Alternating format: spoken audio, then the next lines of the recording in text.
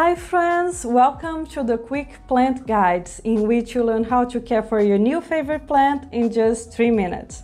So let's talk about the global green. This is one of the new varieties of pothos out there in the market and it's becoming really really popular. And it's a beautiful variety and relatively easy to care like other pothos plant.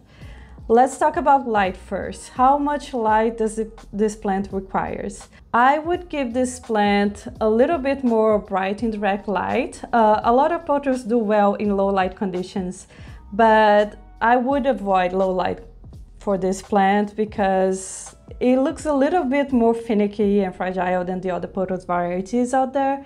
So you can keep it near a window that is east, west, or north facing, and this plant will do well but as always try to avoid leaving this plant in direct sun for too long, especially during the summer. When it comes to watering, it's the same thing as the other pothos. You want to wait until most of the soil is dry before watering. And you will get better over time with feeling how dry the soil is but in the beginning, you can use a moisture meter and stick it up to the bottom of the pot to see how much of the soil is dry. Or you can use your finger and try to sense the soil until like this much deeper as you can. And if you only feel dry soil, it's time to give this plant a good drink. And don't be afraid to really give it a good drink even under the tap. If the pot has drainage holes, the plant will do just fine. So let's talk about soil and repotting.